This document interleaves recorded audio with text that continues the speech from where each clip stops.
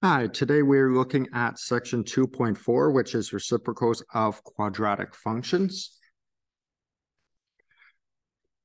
Essentially, our steps for graphing reciprocals of quadratic functions are the exact same as with linear functions. However, we can have 0, 1, or 2 asymptotes. So a reminder from last section we dealt with, we ended up with an asymptote everywhere where original function crossed the x-axis. So because our parabolas may not cross x-axis, that'd give us zero asymptotes. If a vertex is on the x-axis, that gives us one asymptote. Or if it has two x-intercepts, it will have two asymptotes.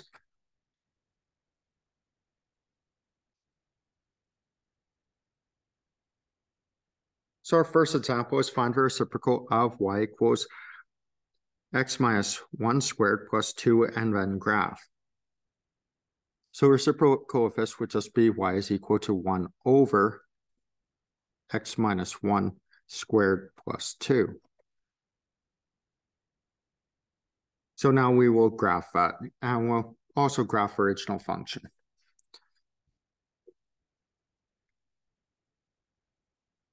So we'll do a three column table of values.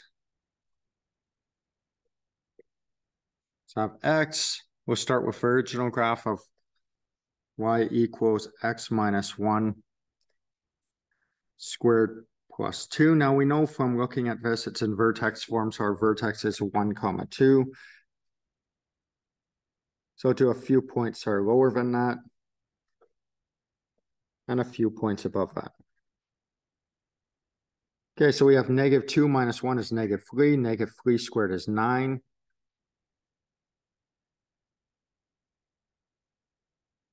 Plus 2 would be 11. Then we have negative 1 minus 1, which would be negative 2. Negative 2 squared is 4. Plus 2 is 6. Next, we have 0. 0 minus 1 is negative 1. Next, we have 0. So 0 minus 1 is negative 1. Negative 1 squared is 1. Plus 2 is 3. Next, we have 2. 2 minus 1 is 1. 1 squared is 1. Plus 2 is 3. Then 3 minus 1 is 2. 2 squared is 4 plus 2 is 6. Then we have 4 minus 1 is 3. 3 squared is 9, plus 2 is 11. So at negative 2, we are at positive 11. Negative 1, we're at 6. 0, we're at 3.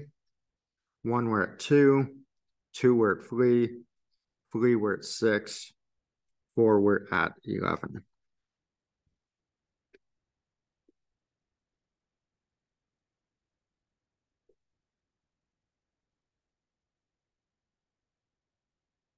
So this would be our original graph of y is equal to x minus 1 squared plus 2. Now to do our reciprocal function, we will just do what we did in the last section.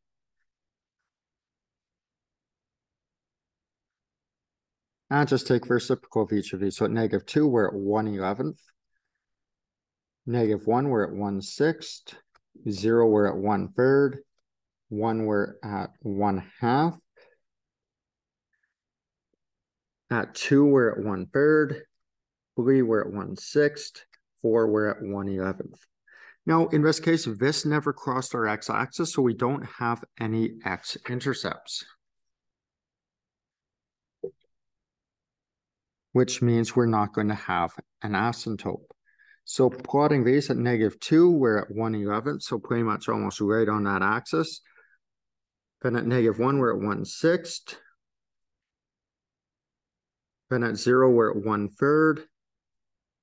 Then we're at 1 half. Then 1 third. Then 1 sixth. Then 1 eleventh. So you can see where the vertex is, our graph of our reciprocal comes upwards slightly.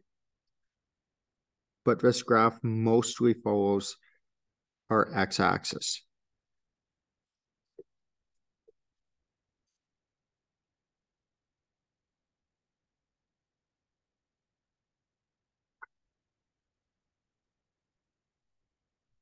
Okay, so we'll do another example. Graph y equals 1 over x plus 2 squared minus 3. So this one, even though they gave us purely a reciprocal function, I will graph original and the reciprocal to make things easier to see connections as well as sometimes it's easier for graphing as well.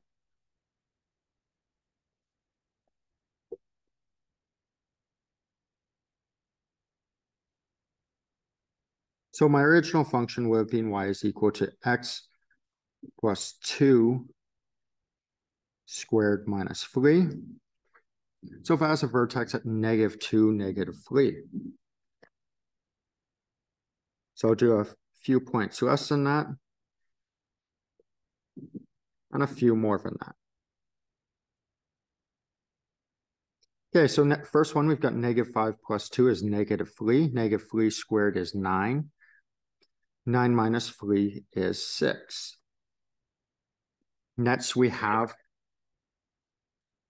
negative 4 plus 2, which would be negative 2. Negative 2 squared is 4, minus 3 is 1. Next, we have negative 3. Negative 3 plus 2 is negative 1. Negative 1 squared is 1, minus 3 is negative 2. Next, we have negative 1. Negative 1 plus 2 is 1. 1 squared is 1, minus 3 is negative 2. Then we've got 0, so 0 plus 2 is 2. 2 squared is 4, minus 3 is 1. Then we have 1 plus 2 is 3, which squaring gives us 9, minus 3 is 6. So we'll plot reset. So at negative 5, we're at 6.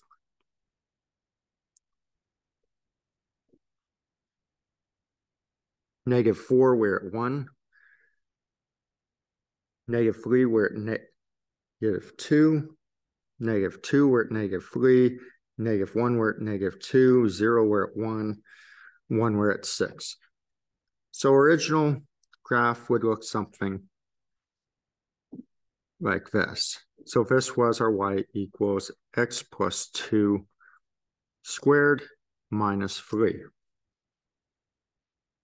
Now we will do our reciprocal function.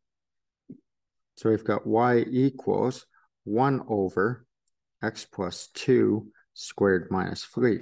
So 6 becomes 1 sixth. 1 is an invariant point. Reciprocal of it just gives us 1. Negative 2 becomes negative 1 half. Negative 3 becomes negative 1 third. Negative 2 becomes negative 1 half. 1 is another invariant point. 6 becomes one sixth. Now, before applying these points, we should put in our asymptotes. So we know our asymptotes are where our graph crossed the x-axis, or original graph crossed x-axis. So we can see we have an asymptote here.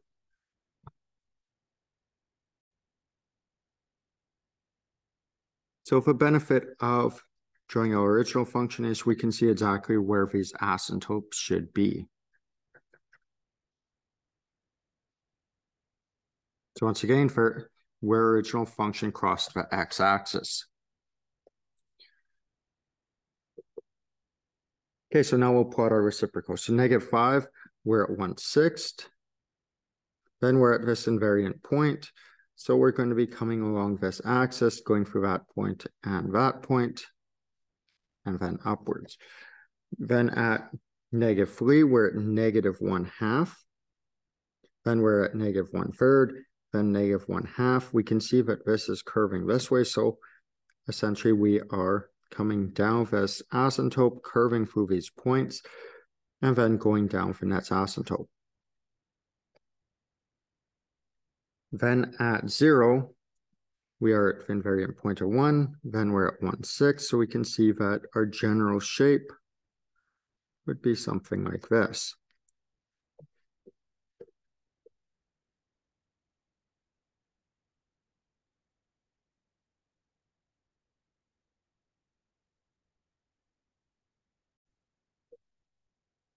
So we can see we had our two asymptotes because we crossed our axis twice. So we've now looked at one where we've crossed our x our x-axis twice, one where we didn't cross it. So we'll just quickly go over what it will look like if we just have it touch once. So if it touches once, so in other words, our vertex is on our x-axis. What it would look like is here's our original function. Where it touches would be our vertical asymptote.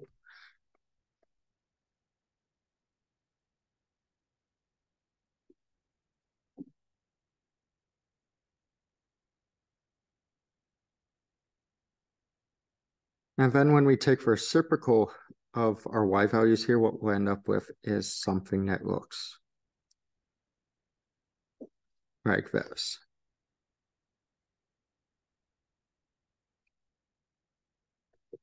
So because our original function, all y values were positive, our new function, all y values had to be positive, which is why this graph is above our x-axis. If it's open downwards, then this would just be mirrored over this axis.